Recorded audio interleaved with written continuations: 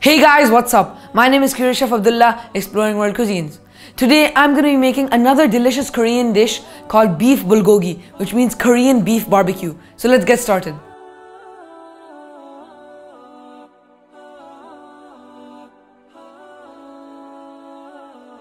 Today I'm going to be making it in a pan, but I'm going to show you two ways how to make it. The first way is using this beef. So this is the authentic cut that I prefer. It's a ribeye steak that I got from the uh, Korean grocery store in my Korean vlog video. And this is 100% halal. And it's cut into these small pieces. But if not, you can also make it at home using this ribeye steak. So this is a normal ribeye steak that I got from the grocery store and I'm going to show you how to cut it for bulgogi. Uh, so first of all, you want to freeze this in the freezer for a few hours so it can get hard and you can cut it easily. Bismillah.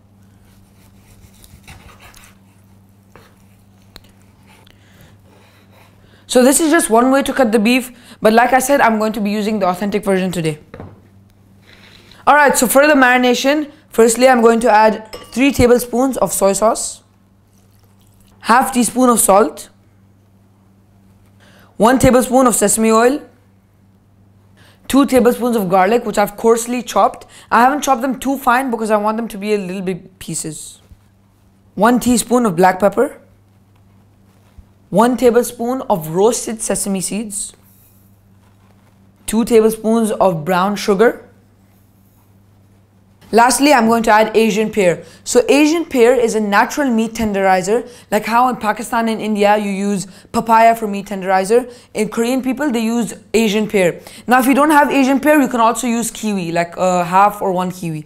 Bismillah. Now if you're using kiwi, you don't have to grate it in, you can just chop it into small pieces. And make sure not to use any other pear like the Chinese pear. Instead use the Asian pear because they all have different tastes and textures. Alright, now that everything is in, let's start mixing.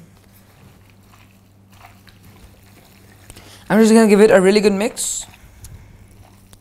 Alright, now for best results, you have to cover it with cling film and refrigerate it for at least overnight or for 12 hours so that the pear can really tenderize the meat and it can be delicious.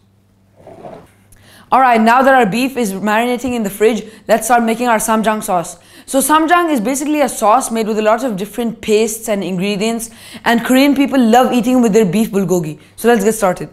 So the first ingredient that I'm going to put in my ssamjang is doenjang, which is the main ingredient of this sauce. So doenjang is a fermented bean paste made from soybean, so like a fermented soybean paste. And it is very important for this sauce because it's uh, salty and it has a really nice flavor. So I'm going to put 3 tablespoons of it. Bismillah.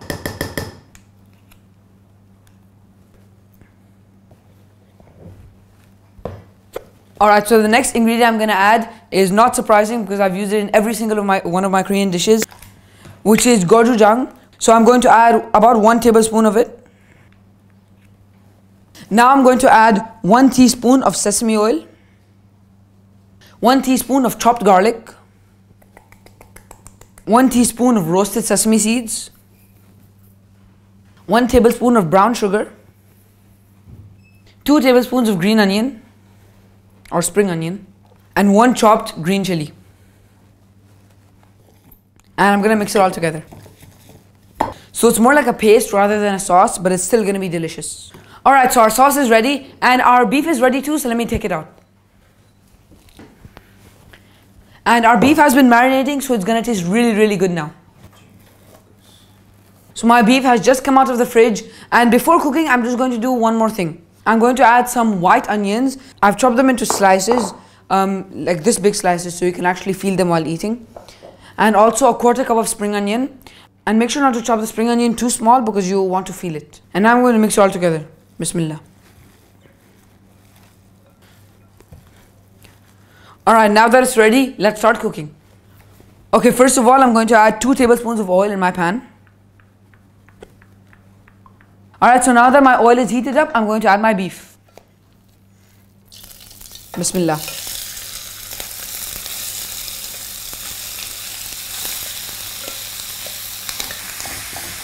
And I'm going to cook it only for around 1 to 2 minutes because it's very delicate and I, and I don't want to overcook it. Alright, now that our beef is done, let's turn it off and take it out. Alright, now I'm going to plate it and I'm going to do it the authentic way and show you how to eat it at the end.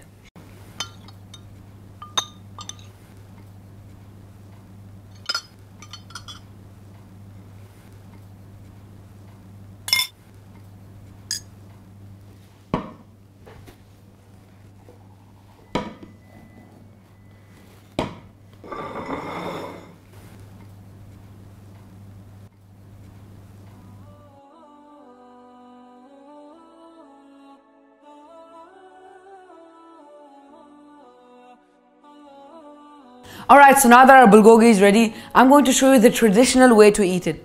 So the traditional way Korean people eat it is called ssam, where you take a perilla leaf or a sesame leaf or even a lettuce leaf and you take off the stem. And first you put some boiled jasmine or sushi rice. You put it in the center and you want to put the leaf in your in between your palms so you can ball it up later. Just put a little bit of rice and then you want to put your beef bulgogi. And make sure to get the beef and the onions both. And you want to add a little bit of ssamjang because it is very strong. Alright now that you have everything you just want to roll it up kind of like a pan and just eat it. Bismillah